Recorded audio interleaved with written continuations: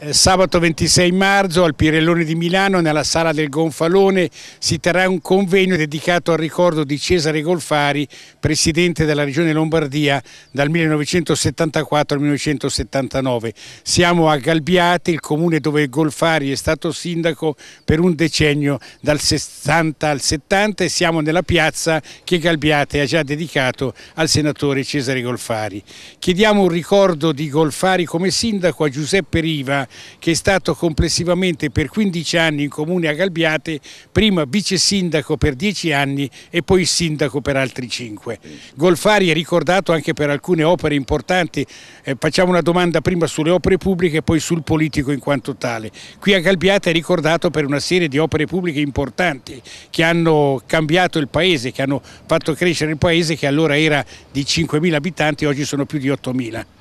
Quindi dobbiamo tornare indietro oltre 50 anni fa. Galbiate era un piccolo paese agricolo, le opere più significative che possiamo ricordare in questo decennio è stata la costruzione del Palazzo Municipale a Galbiate che fu inaugurato da Aldo Moro nel 1978. Un'altra opera significativa è stata la costruzione della scuola media, scuola media Galbiate che Galbiate allora non era incluso nel, ehm, nei finanziamenti ma lui riuscì riuscì a trovare una norma che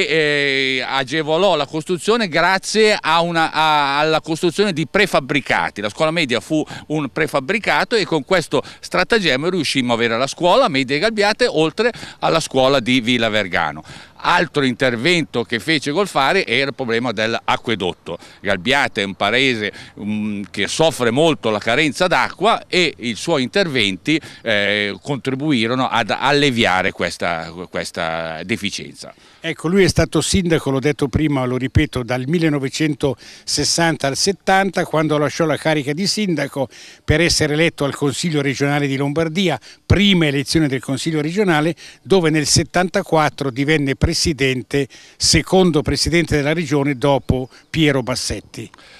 Quindi io beh, eh, posso tornare a golfare politico, in effetti fu anche un maestro di politica, che eh, in quegli anni 60 Galbiate era anche un centro di ritrovo dei sindaci della zona, i sindaci eh, mi riferisco a Spreafico Molteno, Maldini Casatenovo, Citerio Lomagna, Zappa a Merate, che qui si trovavano per elaborare le strategie politiche e le strategie amministrative. Anche dal punto di vista amministrativo Galfari fu un precursore, se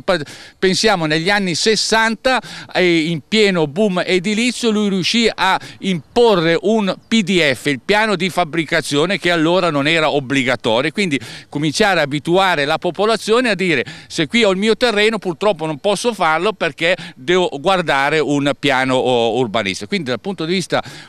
amministrativo un grosso, un, diede un grosso contributo allo sviluppo non solo di Galbiate ma anche dei comuni limitrofi con la collaborazione dei sindaci che ho appena citato